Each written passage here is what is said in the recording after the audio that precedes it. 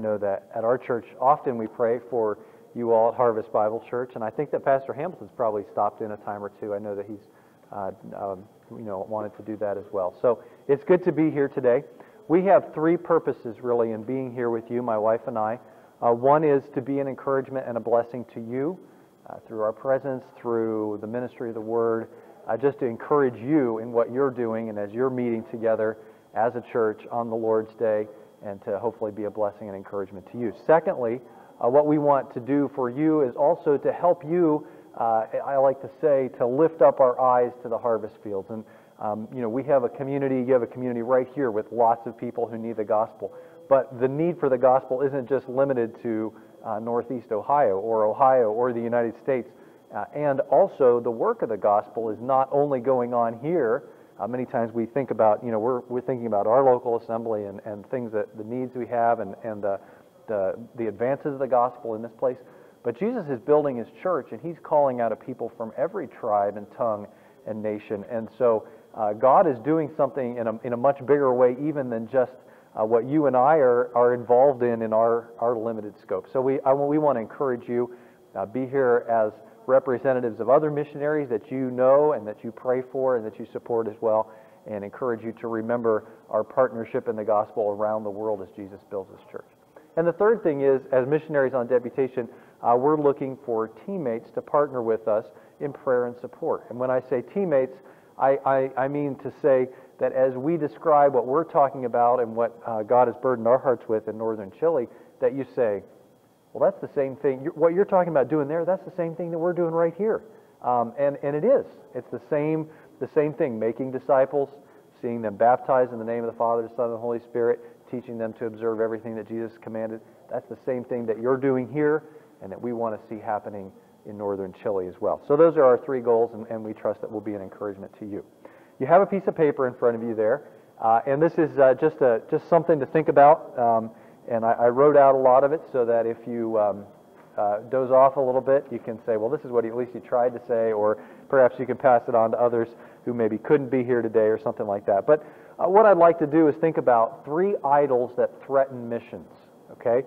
Now, what I'd like to get across in uh, basically done at 10:15. Is that basically what we're shooting for? Oh, that clock's a little fast. Oh, I like that. Okay. So 10:15 is what we're shooting for, right? So four things that I'd like to get across to you. And first of all, they are what I mean when I say missions. Secondly, and the other three are three idols that threaten us pursuing uh, the mission that Jesus has given to us. So when I talk about missions, there may be all sorts of different things in your minds, but really what I'm talking about is the mission or the commission that Jesus has given to every one of his disciples. Someone who says, I'm a follower of Jesus Christ. I believe in him. I put my faith and trust in him for salvation, and I, I'm a follower of him. I want to obey him. I recognize that he is God and that he has authority, all authority in heaven and earth, and so therefore anything he says, I will do. And what is it that he's given us to do? What is the responsibility that he's given us? The commission or the mission. And that mission is to make disciples. Uh, most clearly, we see that in Matthew 28, 18 through 20, the end of the book of Matthew. Jesus, of course, talks to his disciples. He talks about the authority that he's been granted, all authority in heaven and earth. And so, on the basis of that, he says, Go and make disciples of all the nations. Right? So that all the nations means there's no people group or area where we say, well, they don't either deserve this gospel or they're, they're not good enough for that or we're not going to bother with that. This is something that is for all the nations. And that, that, is, that responsibility is to make disciples of Jesus Christ. So, everyone in the world falls into one of two categories. Either they are a disciple of Jesus Christ or they aren't a disciple of Jesus Christ. That's pretty straightforward, right? And if they aren't, then we're telling them you must be right with God, and you're not now because of your sins. The only way you can be right with God is by believing in Jesus Christ, turning from your sin and your self reliance and putting your faith in Jesus Christ alone. And when you do that, that is what it means to become a disciple of Jesus Christ, is to put your faith in Jesus, turn from your sin and self reliance, and put your faith in Him alone. Right? Then for, so for a disciple, we're making disciples. And as we do that, uh, we say, you need to identify with Jesus Christ. And one of the ways that we do that is through baptism. Baptism is a symbol, it's a picture that I am a follower of Christ, that I'm a disciple of Jesus Christ. So we're to go and make disciples of all the nations, and the first thing he says is baptizing them in the name of the Father, Son, and the Holy Spirit. So when we meet someone who's not a disciple of Jesus Christ, and you and I know lots of people like this, neighbors, coworkers, school classmates, whatever, uh, even relatives, they're not disciples of Jesus Christ, we say you need to be right with God, and the only way you can do that is by faith in Jesus Christ.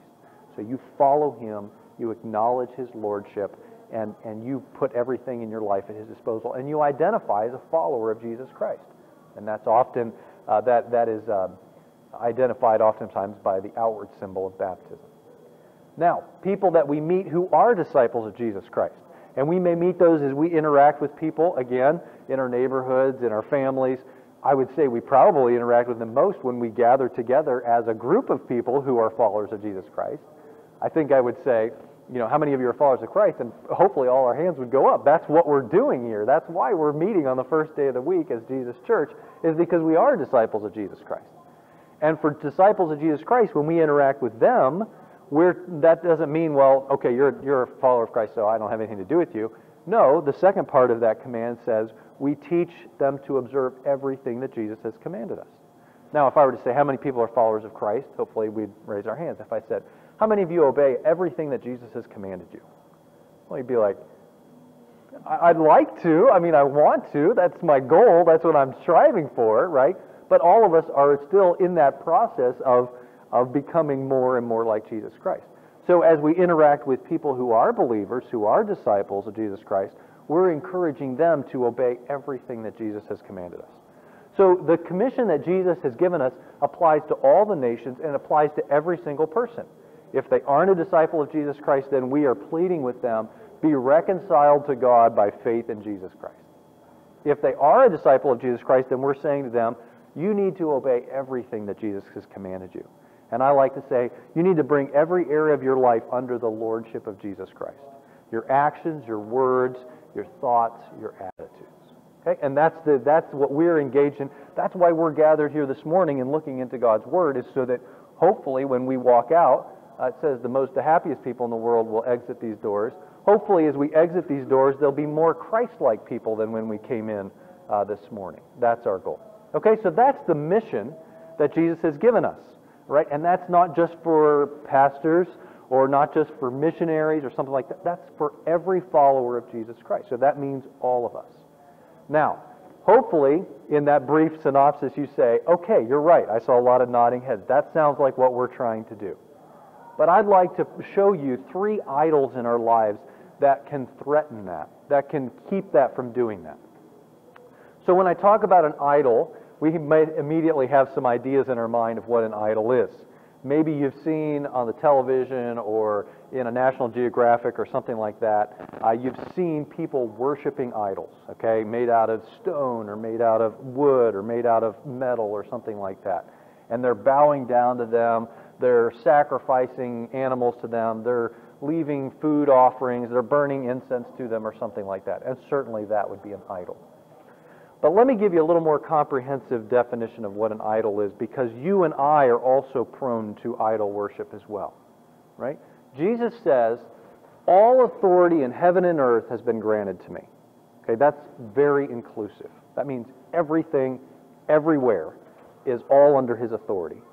So anytime anything, anywhere, usurps the authority of Jesus Christ, that is an idol. Okay? So we say, how do we know it's an idol? Well, if it keeps me from obeying Jesus and submitting my life to his lordship, then that's an idol. Okay? So an idol doesn't have to necessarily be some physical statue. It doesn't even have to be something bad. It could be something good. But if it's something that keeps me from obeying Jesus and submitting my life to his authority, then that's an idol. And I'd like to just show you briefly, very briefly, three idols that sometimes keep us from obeying Jesus' commission. Okay? I think we've all in agreement where we say, this is the commission that Jesus has given us to make disciples. Tell people who aren't disciples of Christ, you need to put your faith in Jesus and become his disciple. People who are disciples of Jesus Christ, when we interact with them, you need to observe everything that Jesus has commanded. You need to put everything in your life under the lordship, submit to the lordship of Jesus Christ. But that commission is oftentimes stopped or stunted or threatened by three idols, and I'm going to group them in just three main headings. And if you're, if you're thinking along with me or if you're reading along, you say, these three idols kind of sound like the, the way that John describes the world, the world's way of thinking in 1 John chapter 2, and, I, and that is on purpose, okay? The first idol I call the idol of comfort. Now, nobody likes to be uncomfortable, I don't think. Um, I've never met anybody who says, I just love being uncomfortable. I, I go out of my way to be as uncomfortable as possible. We like to sit somewhere that's comfortable. We like to do things that are comfortable and enjoyable to us. Uh, when, we, when we go to bed at night, we don't try to find the most uncomfortable way to adjust my pillows so that my neck really hurts. I really want it to hurt in the morning when I wake up. No, we want to be comfortable, okay? And there's nothing wrong with that.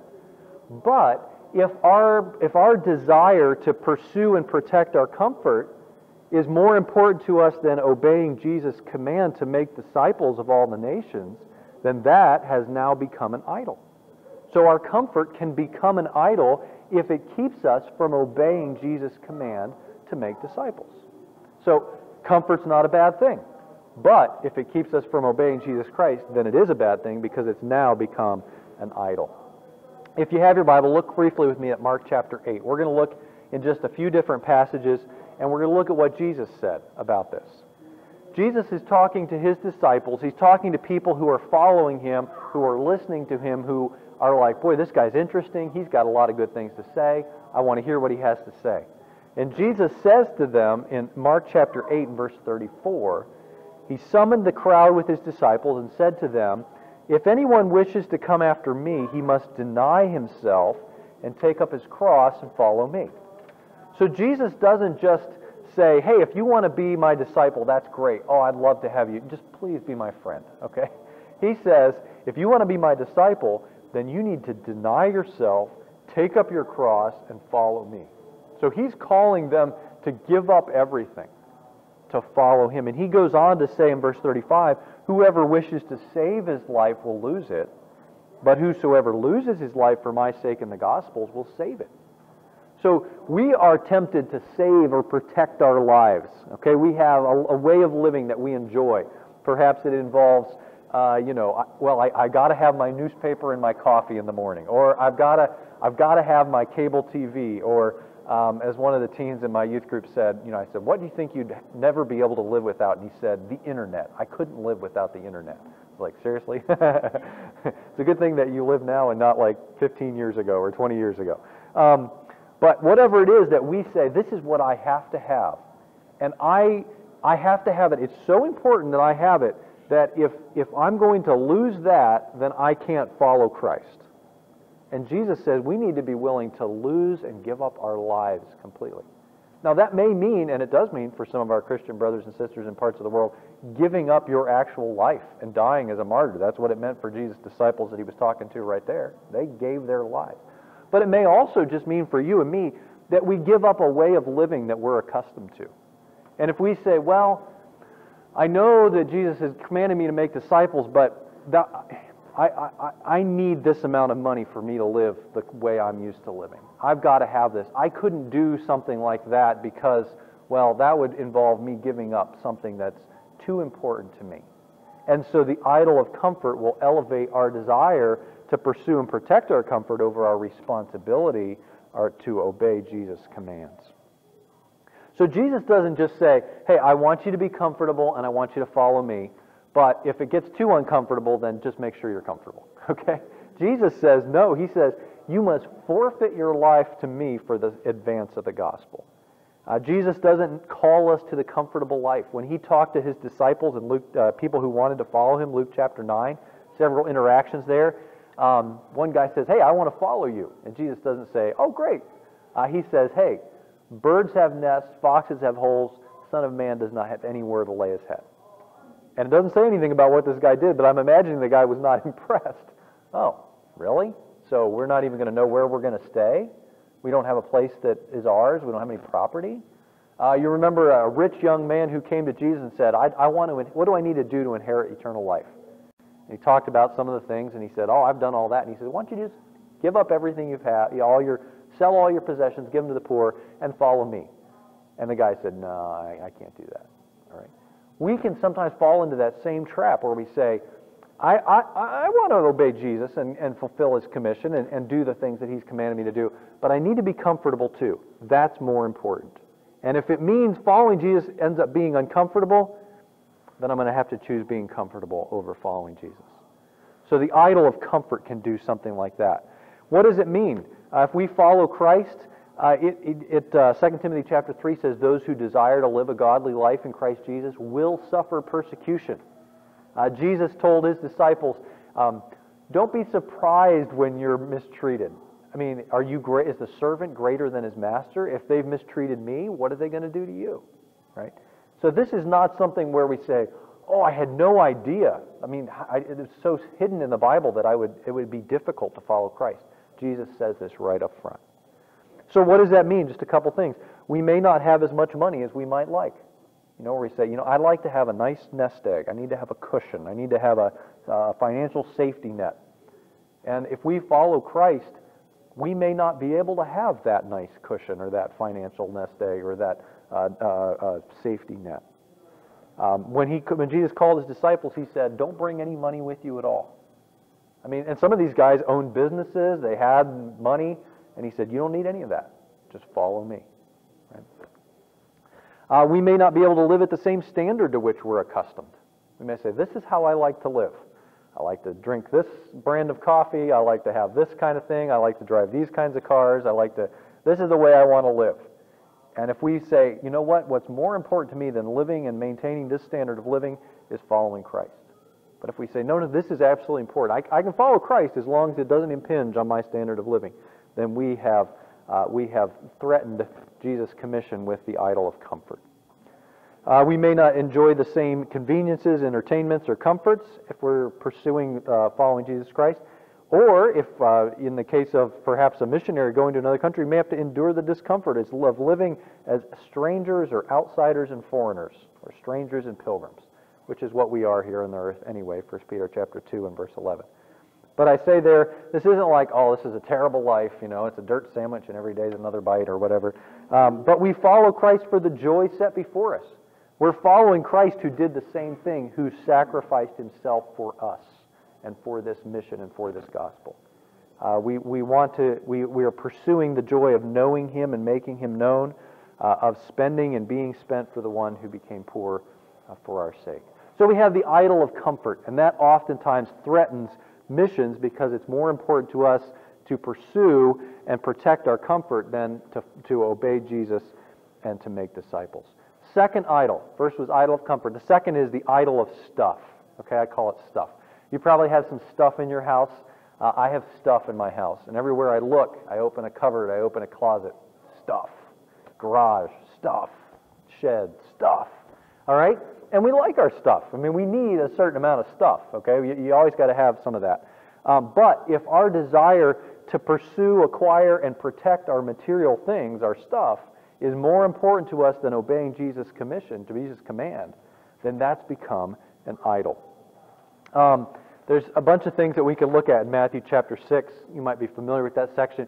Jesus talks about the fact that, you know, where your treasure is, there your heart will be also. Uh, he says, don't lay up treasure here on earth. He's talking about stuff, right? And then in the next section, he transitions to another thing, and, and it's a way that stuff can be an idol even when you don't have it. Okay? You say, well, I don't have a lot of stuff, so this doesn't apply to me. If you don't have a lot of stuff and it's still an idol, then you worry right? And that's what Jesus goes right into. I have, some of the people I've known who've been most obsessed with stuff don't have any of it. They're worrying about it all the time. And they talk about money all the time. And they talk about things all the time. Because it's their idol. It's what they think about all the time. And they don't even have that much stuff. Okay? I know a couple people like this. And they talk about it all the time. All right? And they're worried about, I don't know how I'm going to pay for this. And I don't know how this is going to happen. I don't know how this is going to work out. That's when it's still an idol even when you don't have it. So stuff can be an idol even when we don't have it. And, and Jesus talks about this, and he says, really, uh, your life is actually a gift from God. He says, isn't life more than food? And, and isn't the body more important than what you put on your body? Like, you can, you can buy clothes and you can buy food, but you can't buy health and you can't buy life. Okay? Those are gifts from God. Uh, and God cares for us. He cares for all of His creation birds of the field, uh, birds of the air, flowers of the field things like this. Uh, he says, Which of you by taking thought or which of you by worrying can add one hour to your life? Or, you know, you say, All right, I got a big problem. I need to deal with this. I'm not messing around. I'm going to take the day off work and I'm going to worry about it all day. I mean, I'm not going to mess around, okay? I'm not going to I'm not going to just worry a little bit, you know, just wake up a little bit in the night and worry about it. I'm going to worry about it all day. Okay, I'm going to get up in the morning, I'm going to eat a good breakfast, so I'm ready to go, and I'm going to worry. I'm going to worry all day. Uh, I'm going to just take lunch at my desk, and, and I'm going to keep worrying while I eat my lunch, and I, I'm going to really do something about this. Well, he said, that's ridiculous. That does nothing to solve your problem. And that's exactly what Jesus says. He says there's, there's, no, there's no benefit at all to worrying. And uh, so his, his summary there in Matthew chapter 6, verse 33, he says, seek you, you need to seek first the kingdom of God and his righteousness. Our responsibility is to do what is right before God, allow him to take care of our daily needs. So in essence, really, Jesus calls us to follow him and not to pursue stuff. And, and we know people. We, we, we, are, we work with people. We go to school with people. We, are, we live next to people. They think the, the goal of life is to get stuff right? That's what they're after all the time stuff. More stuff, the merrier. But Jesus doesn't call us to do that. As his disciples, our goal is to follow him and not to pursue stuff. So if we pursue our stuff with the same zeal with which God commands us to pursue him, guess what? That's the idol of stuff. That's the idol of stuff. If our stuff is more important to us than obeying Jesus' command, if we say, well, I would like to follow Jesus and I'd like to do this, but that might mean giving up some of my stuff. If that's a problem for you, that's the idol of stuff. In Matthew chapter 19, Jesus talks about that, and I'm just going to just read it briefly to you. You can flip over there if you want. Matthew 19, uh, 16 through 30. Jesus talks to, uh, I mentioned the man who came to him and he said, You know, what, what do I need to do? And Jesus said, Why don't you give up everything you have? And he said, No, I'm not doing that. Okay, he went away sorrowful because he had great possessions. He did not want to give up his stuff uh, to follow Jesus. And, and Jesus said uh, to him, uh, or I'm sorry, uh, Jesus' disciples said, Hey, we've given up everything. And Jesus says, That won't go unrewarded. I will take care of you. So we have the idol of comfort, we have the idol of stuff, and then the third idol, we have the idol of others, our relationships with other people. Now, it is not bad to have relationships with other people. That's a great thing. It's one of the joys of living as, uh, as, a, as a person who's made in God's image. And we have family relationships, we have friends, we have, uh, we have all sorts of, of great relationships with people. But if our relationships with others become more important, if they keep us from obeying Jesus' commands, then that's become an idol. Um, and so in Matthew chapter 10, and uh, just look at that briefly with me, I'm, I'm going to wrap it up here. Jesus says, uh, he says some very surprising things, I think. In Matthew chapter 10 and verse 37, Jesus says this He who loves father or mother more than me is not worthy of me. And he who loves son or daughter more than me is not worthy of me. And he who does not take his cross and follow after me is not worthy of me. He who has found his life will lose it, and he who has lost his life for my sake will find it.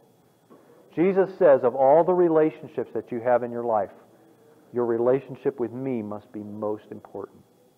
And if any other relationships, father, mother, daughter, son, uh, husband, wife, whatever other relationship takes the place or usurps that is more important than obeying Jesus, then he says, that's not what I'm looking for in a disciple.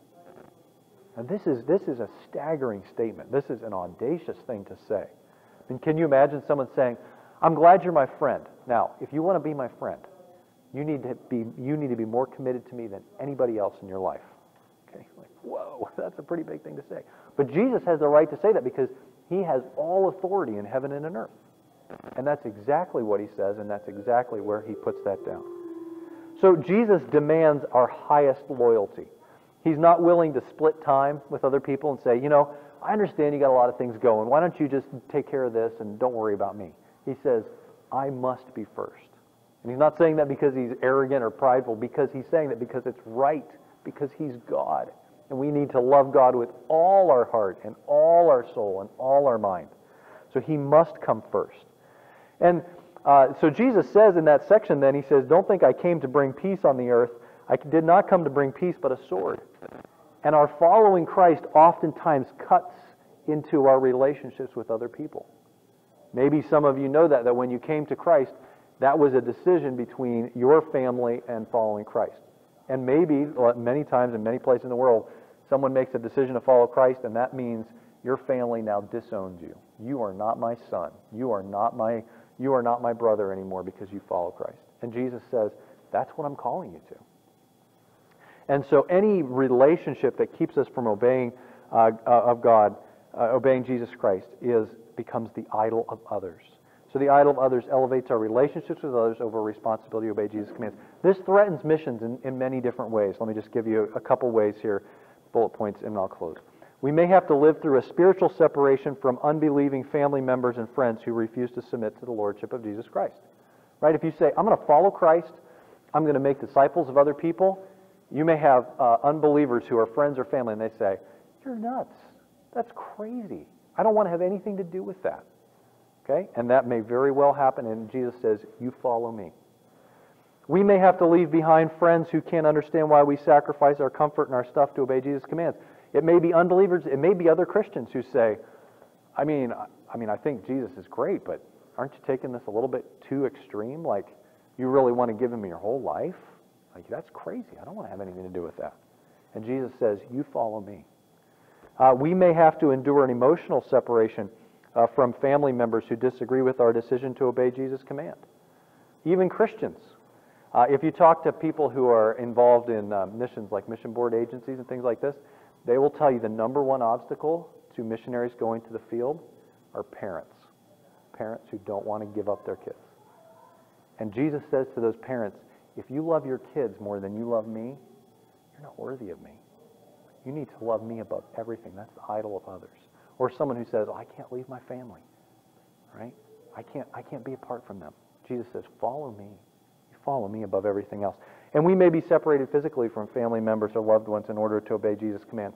That's what our missionaries are doing. You know, we, we know and, and pray for missionaries around the world who are separated from their families. They can't be with their families for birthdays and holidays and things like that.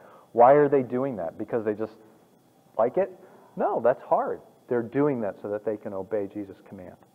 And, and it's more important to them to obey Jesus' command than to simply uh, enjoy the relationships with others. So let me have you, you think about that. If you think about the mission that Jesus has given us, make disciples of unbelievers, calling them to faith in Jesus Christ, of believers, encouraging them to obey everything that Jesus has commanded us. Three idols that get in our way and can get in the way of each one of us, and we have to constantly be checking and asking. The idol of, of uh, comfort, the idol of stuff, and the idols of others. All right? So hopefully that's an encouragement to you. Hopefully that's a challenge to you. I know it is to my heart as well. Should I close in a word of prayer? God, we thank you for your kindness to us in the gospel. We thank you for uh, bringing us to yourselves, and we thank you for the opportunity to gather here with other disciples of Jesus Christ this morning. We pray that we might be encouraged to obey everything that you have commanded us this morning uh, from our time this morning and, and follow Jesus Christ supremely. Uh, Lord, we pray that you would help us in our hearts to, to identify these idols, that we would break them down and follow you, uh, supremely love you more than anything else. Thank you for each one who's here this morning as they hear the word of God, and I pray that we would obey it. And as we have an ear to hear, that we would listen to what Jesus says. In Jesus' name we pray. Amen.